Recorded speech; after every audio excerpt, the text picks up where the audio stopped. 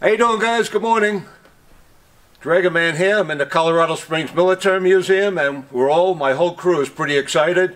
Uh, we open up the museum April 9th on a Sunday at 10 o'clock. And then after that, it'll be open every Sunday at 10 o'clock, Wednesday and Friday at 10 o'clock. No reservations needed. You just uh, show up before 10 o'clock on those three days, and we take you through my military museum. My military museum is separated in three different sections.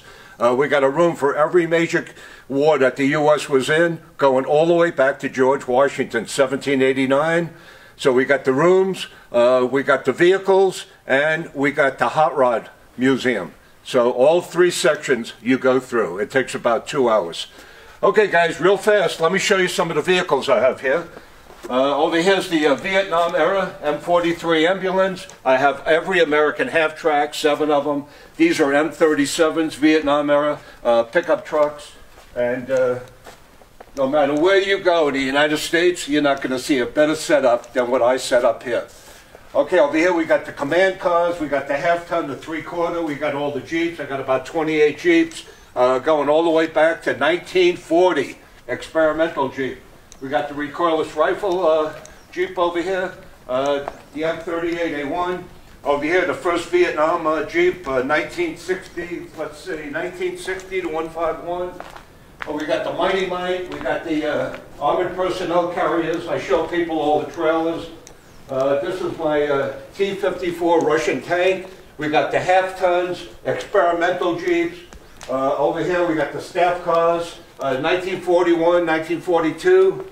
And you come around the turn here, uh, we got about six uh, machine gun bunkers in the museum uh, with laser lights, sound effects, and uh, you really get gonna learn a lot if you come see my museum. Uh, this is the CCKW, Deuce and a Half World War II. We got the Gamma Goat. Uh, we got the M16 half track, see with the quad mounts.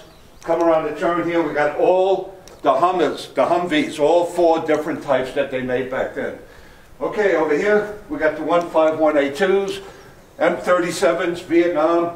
If you were in Vietnam, you're definitely going to recognize all these vehicles. They were all over the place.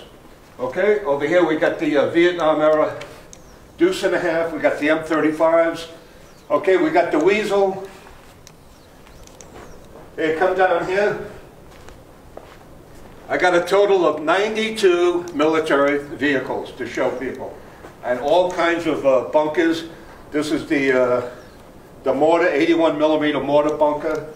Over here we got more Jeeps. Uh, we got troop carriers. Uh, we got the bomb truck over here, the Gamma Goats.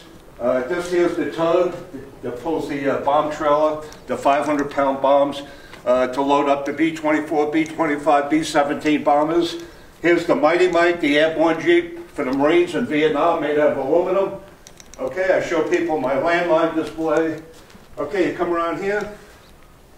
We got the MB Jeep, experimental slat grill.